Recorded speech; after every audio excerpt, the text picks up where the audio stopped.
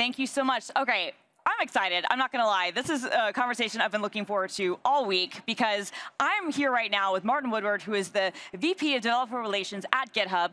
He's also my boss. Yeah. So um, please give me a good review. Will do. All yeah, right. Anytime now. Um, I mean, I guess it'll probably depend on like how this goes. So let, yeah, let, this hope. interview's fantastic, and uh, yeah, but you've got great shoes, so that's the main thing. I, I do have great shoes. Um, the audience can't see this, but my shoes are literally like a blue screen of death blue and a 404 error. They're really great. Oh, they're zooming in? Yes, please. Yes, get the shoes. They're really good. Thank you. Thank you for the, thank, thank you, Martin, for, for giving that, that shout out. Okay, so GitHub Copilot, which is our AI coding assistant, was all over the keynote. It's been all over Build this week. What are some of the biggest features that developers can look forward to using um, in the future?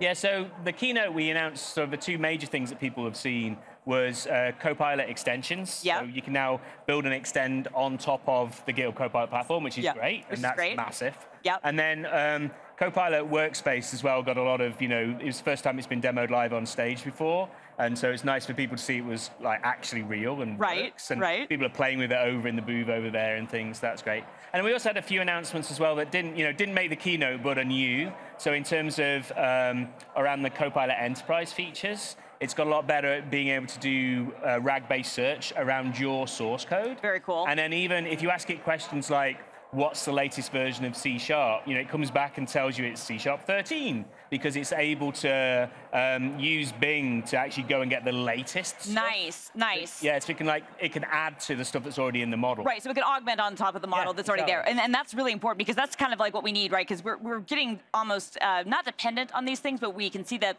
you know potential Yeah. and then we want like okay what's the latest information we can get so that's really great all right let's go a little back and let's talk a little bit more about you know the, the github copilot extensions because this has been exciting to me as a user and, and it's definitely something that i'm excited to talk to developers about but why are we doing this and like what is the benefit to developers with this Yeah.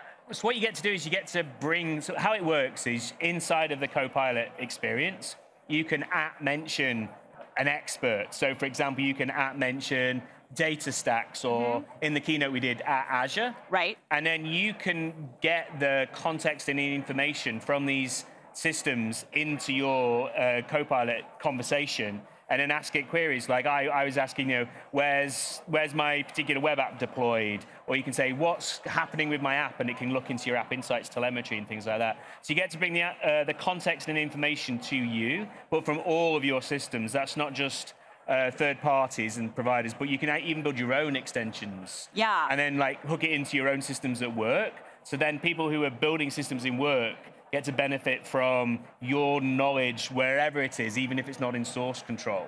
So um, yeah, I think actually the mo- most powerful thing is people building extensions for their own business. That uh, this is how we deploy things in Contoso or in Microsoft or in a bank or whatever. Right. Should be good. No, that should be really good. Okay, so like, um, you know, uh, how does this work, and what what types of extensions are there? So there's two. So you do a, um, a GitHub Copilot extension. Okay. And that's you can think of that that's like a server side thing that lives in the Copilot, you know, the GitHub Marketplace.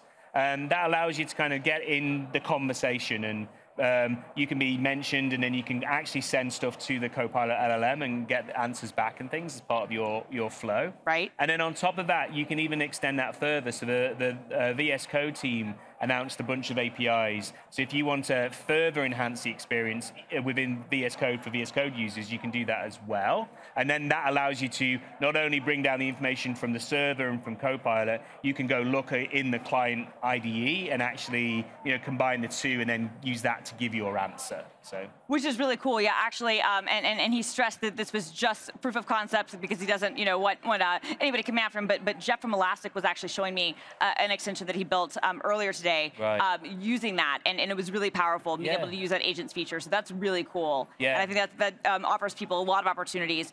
And, and what are some of the extensions that like developers can build with with uh, GitHub Copilot? Yeah, so I mean, the um, you can build any get anything that's in you know gets into that conversation. So all, things from like at Azure, where it, it helps you with your Azure resources, or at DataStax, where it's helping you with your databases. But you can also, you can do anything. Like um, one of my colleagues is actually talking in about 30 minutes time. Uh, BRK149, if you want to check out the section. BRK149. Okay. That's extending Copilot. Um, he wrote uh, an extension which gives you all your answers talking like a pirate. Because you can, because you can get involved in the conversation and influence what the LLM model gives you. I love it. Okay, so I'm, I'm now going to assign myself, and you're my boss, so you're going to have to hold me accountable Yeah. to this, that I'm going to assign one that's going to give me answers with Taylor Swift lyrics. That would be amazing. That would be, that's actually really doable. That's really easy to do, so. Okay, yeah. so, so we're going to do it, and we're going to make it a demo. Yeah, so, yeah, all right, okay. I, I'm, I'm This assigning that time to next myself. build, we're going to do that as a demo. Yes, And you're going to be on stage with me? Yes. Sweet, let's We're gonna do it. We're gonna do Okay. it. Um, and then we also have, you know, bu- building people Yep. your own. We've already got some partners who've already announced some things, right?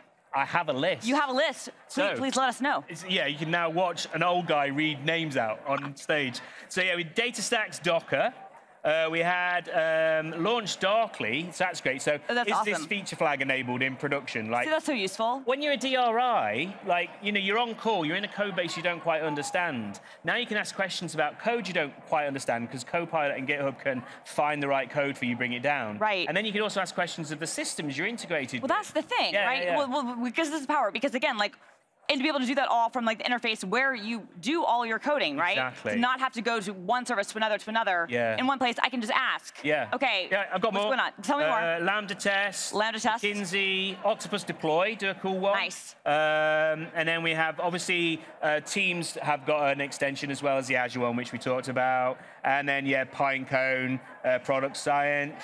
Uh, Sentry, and I'm trying to re- README. README was the other one for documentation. Oh, that's great. Yeah, that's yeah. great. So, and that's that's good for documentation too. Do you know how that one works? Um, it allows you to like query the docs that you've got because it has their little index, which is perfect. 'Cause then if you've created your own internal docs using README plugins, then it allow you to integrate into them. That's It'll awesome. also help you create docs for code that you have and things like that, which is pretty neat. No, that's very. neat. Skeleton it and give you the, you know, you, it doesn't Yeah. replace human authors, but Of it gives course. you the, it's a lot easier to edit something than it is to come up with it by scratch. Well, no. Here's the thing. Like we, we all know this. Like how important like documenting code is and writing and and uh, commenting code is and documentation. But getting started, like even creating that skeleton, that scaffolding, Yeah. is for a lot of people a barrier to entry. Yeah. And so that's that's great. And that's the bit that spoils your creativity. That's the bit that stops you from being in the flow because you're like, oh, I've got to do a template and blah, Right. blah, blah. And whereas you can just say, get me started, it gives you starting, okay, now I'm here, now I can just edit. And that's what we found with Copilot in general, is it's, it's improving developers' iteration time. So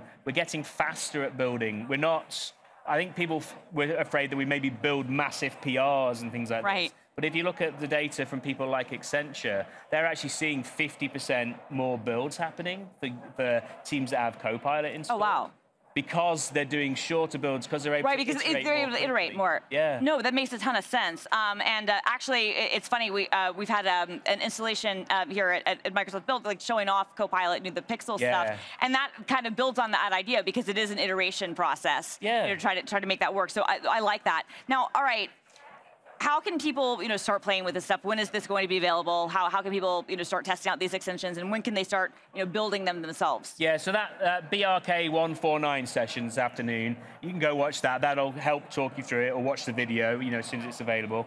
And then um, you you sign up to join the waitlist to actually get access to all the APIs because they want they want to make sure they're getting feedback on the APIs. Right. Which is why they announced it here at Build because where else to get Where the best else? feedback in the world? Absolutely. Exactly. And then um, doing that, and then the extensions can go into the marketplace, and then people can use those extensions, and then later on in the year, depending how feedback goes, make those more generally available. So that's currently the plan. That's currently the plan. Okay, so it's going to be a little bit later, um, more, more generally a little later Yeah. on, but you can sign up um, to get on, on, on the wait list now um, and check out BRK uh, uh, 149. 149. Yep. And then there's a short URL as well, uh, um, gh.io slash copilot slash extend. Okay, And that'll take you to the blog post and all the documentation, all that sort of stuff. That's great. That's great. All right. Um, do you have any final thoughts? Any final things you want to you want to share with us? Well, we got No, a few just more minutes. uh, yeah, check it out. And also, if you get a chance, if you're here at the show, check out Copilot Workspace.